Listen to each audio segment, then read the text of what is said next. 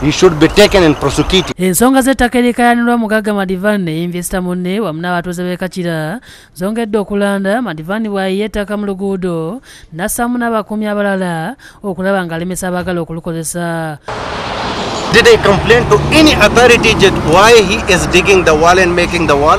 If my any complaint is there, then he come come and dig the road. No, I First he put the stone there, then he put the other stone there, then he dig it the personally road. with you, I have no problem because I'm No, an I, employee. for me, I do so I'm nobody only has a telling my problem brother with me here because I was kept quiet. because in wabula invesita akayana awera nti agenda kumenya byonna madivaani byatadde mu kkubo singa gavumenti eyingira mu nsonga zino okubatabaganya kubanga bambi bagiwa omusolo I'm appealing to the government to intervene before I go and dig that road. I will dig it. Like he did it in the night, I will also go and bring the dozer and dig it. Then the government will come, walk up. eggulire eno twali kulagako mawulire gaffe agataliiko nfufu ng'ennaku z'omwezi abiri mu musanvu omwezi ogw'omunaana nga batuuze b'ekakira ne invesito yeekolera erikola ekirungo kya sabbuuni langi ne tayoza ejjinja nga bawanjaga olw'omugaga madivaani okubafuukira empiri n'aziba ekkubo ery'olukale ng'agamba nti yali alizibye okulisimbamu ebikajjo bye. Abaana bonna mbazaalidde kuno. Ne bba wange yafa bafiiridde kuno.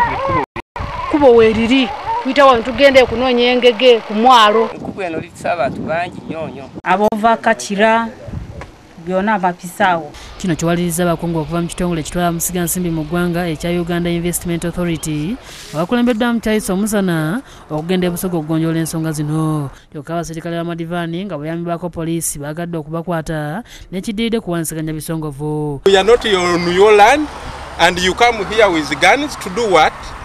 That is being stupidity of the highest order. This is a government vehicle. How this is the, this shows how these people intimidate him and other people.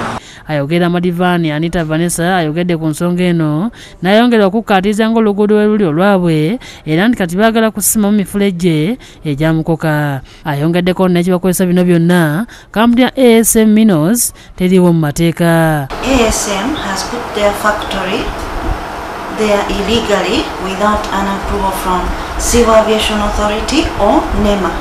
akulira ebikweketo bya poliisi ekakira afande muwanga akubiriza abiri bano okubeera abakakamu nga bebalinda abakulu okukola ku nsonga zaabwe ivan lubega yakusakidde eggulu eno ku lwabukedde tv Particularly down, if you see there,